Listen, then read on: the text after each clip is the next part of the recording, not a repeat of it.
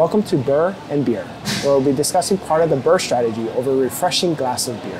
Hi, my name is CJ Khalil. I'm with WNN Properties. And today we'll be discussing creative lending with Richie Baguio.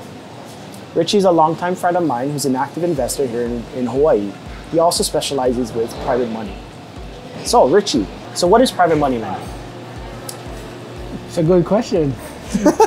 private money lending is uh, when you lend money that you may have or even may not have, and uh, the money works for you. So it makes a passive income. What are some sources of private money?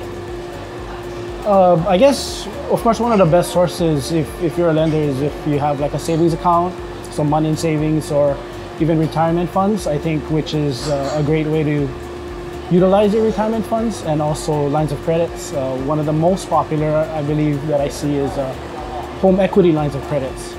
It's money sitting in your home and basically doing nothing, you can put it to work. You said HELOCs.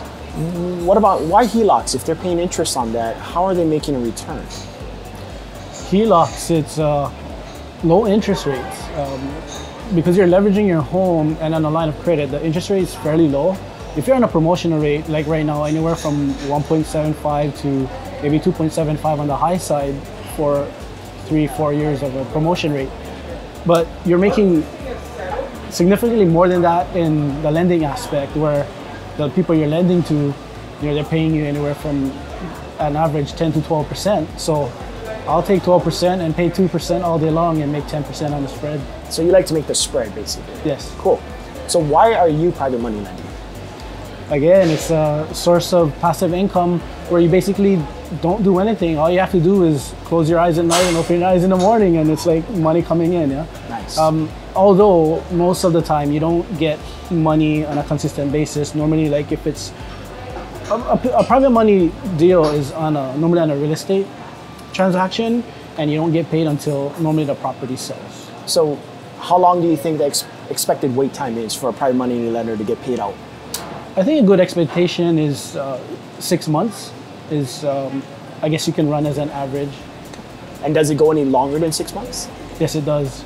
Uh, so personally, uh, we've been in a private money lending deal where it took 22 months, Wow. Almost two years long. almost two years long. Cool. Thank you, Richie, for your valuable insight. And now the beer. We're drinking Red Horse beer at 1938 Endo Shine. Just a couple Filipino guys drinking some Filipino beer. Until next time, stay tuned to BRRRR and Beer. To the BRRRR!